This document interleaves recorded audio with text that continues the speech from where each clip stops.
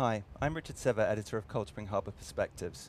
With me I have Diane Mathis of Harvard Medical School. Diane, welcome to Cold Spring Harbor. Thank you. So Great meeting. Yeah, it is. It is a great meeting. Um, what the, the, the meeting we're at right now, of course, is the uh, the symposium on immunity and tolerance, and um, you have just put together this amazing book on immune tolerance. So it sort of struck me that you'd be perfectly positioned to explain immune tolerance to to me. So. Um, putting it, putting it sort of in, in a, a, a, general way, what's the, what's the challenge that's faced by the body here?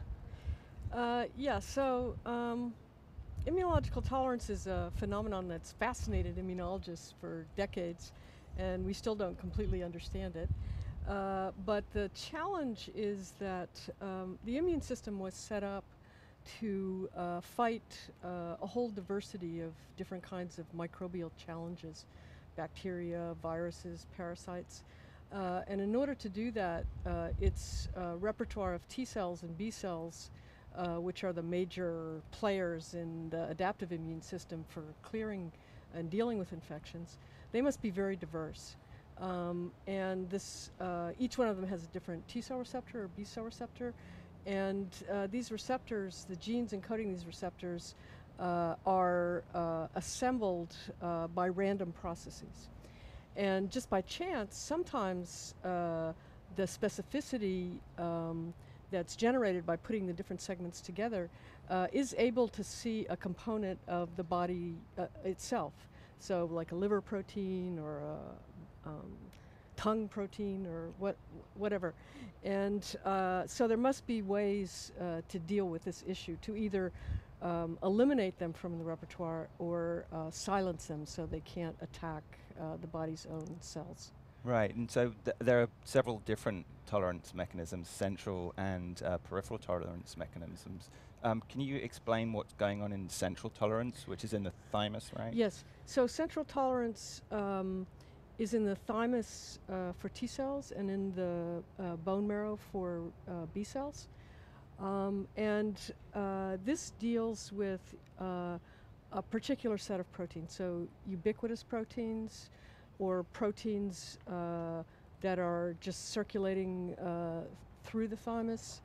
Um, and so um, there's a particular set of mechanisms that are used in these cases, and that's usually um, deletion uh, of the cell of the potentially autoreactive reactive cell from the repertoire. Okay. Basic, basically just killing it off.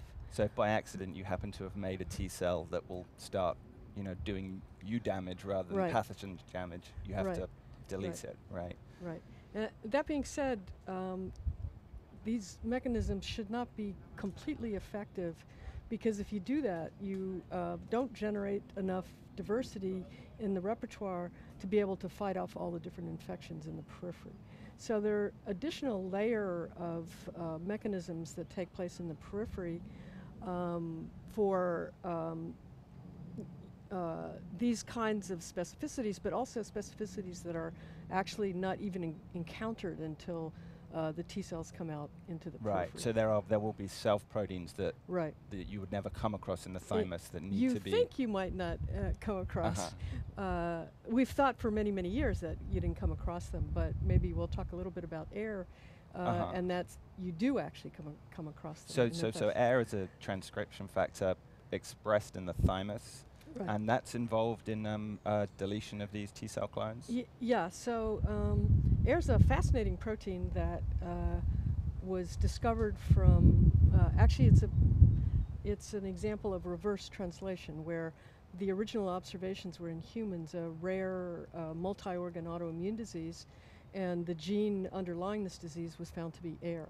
-huh. And it turns out what Aire does uh, is in a really small fraction of stromal cells in the thymus, not the thymocytes T cells themselves, uh, but in these stromal cells, um, Aire uh, turns on a huge repertoire of um, messenger RNA transcripts encoding proteins that you wouldn't normally encounter uh, until the cells come out into, into uh -huh. the uh-huh. periphery. So what is it? What is it? It's the least least specific transcription factor well, ever encountered. Yeah, well, I'll tell you that in a minute.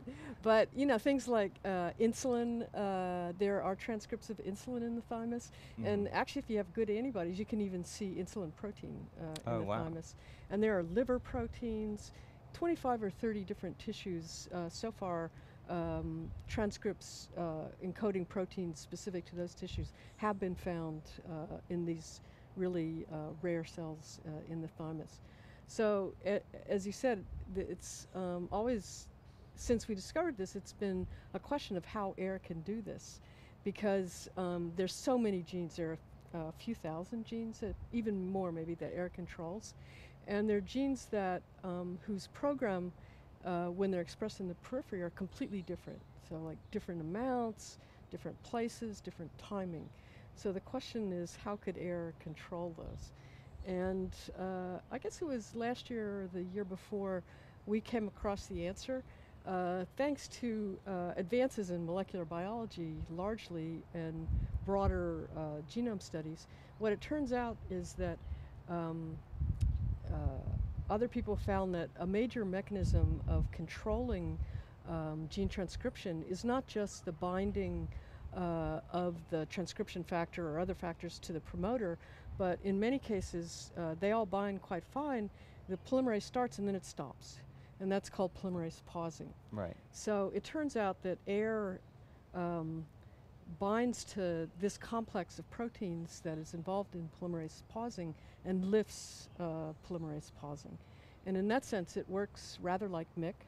Uh, MYC seems to have a similar mechanism. Um, we just heard some talks today saying that the same mechanism is used um, for uh, getting uh, naive T cells ready to make a rapid response. Uh, so there, in that case, all the promoters are all set up, and then when you activate them, but they're paused, and then when you activate them, the pausing is lifted, and that's basically how we think that Aire works. Oh, I see. And and so in these cells, you- you're actually getting proteins produced, which are presumably immediately degraded so that they can be presented to the T cells Yeah, to cause That's right, just like deletion. any antigen presenting cell. Uh-huh. And is uh, is the um, uh, protein degradation upregulated in these cells for this reason, so that you don't have insulin and many other polypeptides floating around doing stuff they shouldn't be? Yeah, um, we don't have evidence of protein degradation changing, but the, w- we think the mechanism that for dealing with the problem uh, that you evoke is that once you turn on Aire, the cells die rather rapidly. Uh-huh. Um, so it's a great mechanism for showing a lot of different proteins. So as well as clonal deletion going on in the thymus, i- is there something else going on there? I mean, with the, the, what's the production of the regulatory T cells? These are not being deleted; they're being directed into an alternate fate. Is that correct? Right. so some people think of um, uh, the deletion and the generation of the regulatory T cells as being two sides of the same coin. One which Mhm. is immediately affected in the thymus, and then the other one which is delayed but still generated in the thymus. So you generate these Tregs, which then come out and patrol uh, in the periphery.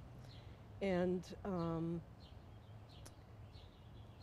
so when uh, we first uh, found how we thought that um, Aire was operating and that it could be uh, controlling all these transcripts, which are uh, then leading to clonal deletion uh, of the thymocytes. Um, several group, several people were skeptical because they felt that there just aren't enough of these rare medullary epithelial cells that are expressing these transcripts to be able to delete these um, or sample these many, many different uh, T cells. Uh, and so the idea was that, well, maybe they're affecting regulatory T cells, the selection of regulatory T cells. And we thought that was an interesting idea, but we couldn't find any data to support that because when we looked in sort of juvenile, you know, teenager or adult uh, mice, we didn't see uh, any differences in either the function or the numbers of regulatory T cells. and um, but that's what my talk is about today Right. uh, because we uh, discovered something new recently. Uh, you know, Aire, we think Aire seems to be very important, but uh, we made a mouse where we could uh, basically turn Aire and turn off, turn Aire on and off whenever we wanted to. uh huh. It's a tetracycline regulatable right. system. And when we did that, we found that Aire is only necessary for the um, maybe the first week or so uh, of life. Okay. and that was a t- completely unexpected finding and one that we just d- didn't really understand. And so we've been working on that for the last two or three years. And what we f- found that is that Aire is actually controlling uh, the generation of regulatory T cells, but just very early on during this narrow time window. Mm-hmm. And in fact, we can completely phenocopy uh, the Aire knockout mutation by um, depleting Tregs from zero, zero days to 10 days. okay, we so deplete- it's a tiny window yeah, in which it's working. If we deplete Tregs, say from 30 to 40 days, then we don't, and Then there's nothing the, you don't see this effect. Um, and so we've been studying. We have a, a reporter mouse, and have been studying these Tregs that are generated in this early time window, and it's a, a, a completely different uh, type of uh, Treg with different um, properties and uh, than the older ones that are generated in the adult. And they're actually stable. They generate neonatally, but uh, they're very, very stable uh, through months, months and months of life. uh-huh. And so, in the end, uh, Aire is controlling uh, the negative selection in the thymus, but it also has an important function uh, con- controlling the generation of regulatory T cells. Right, and so, I mean, you talked about um, uh, regulatory T cells p- patrolling in the periphery. What are they doing when? That, what are they patrolling? What do they do that when they find something? What, what are they, what are they doing? Yeah, you mean what's their mechanism of action? Yeah. Uh, they they seem uh, uh, to have different mechanism of, action. There are very several different mechanisms that have been described.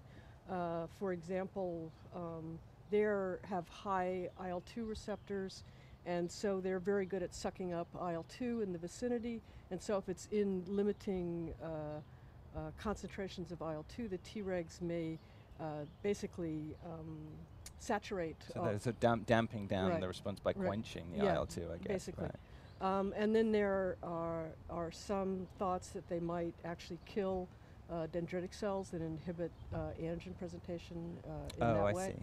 Um, and then there are cytokine-based mechanisms where uh, things like I they make IL-10 or TGF beta or um, IL-35, and these can also affect responses.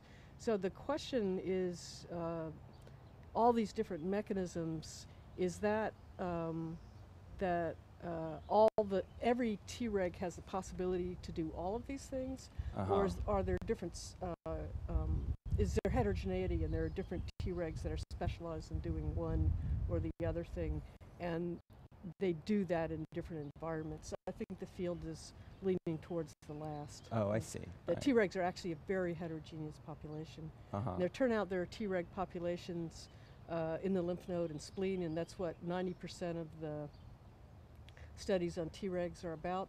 But as you uh, heard, uh, there's also there are also immune responses in the skin, and there's a special population of Tregs in the skin, and in the gut as in, well. in the gut, in the adipose tissue that actually controls uh, metabolic indices.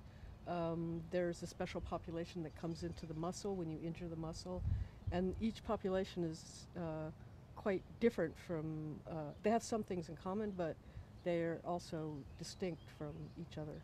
Hmm Um, So uh, and we've heard a fair bit at this meeting about the microbiome. So they, they are they involved in ensuring that we don't uh, produce an immune response to uh, you know, uh, sort of friendly bacteria, so to speak? Uh, yes, definitely. And also, um, the microbiome, some particular bugs are important for generating a healthy uh, Treg response in the Uh-huh. gut.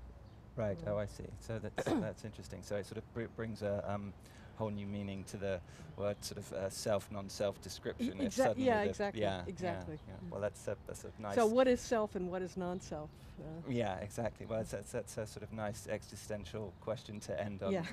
Thanks very much for talking Thanks. to us, Diane.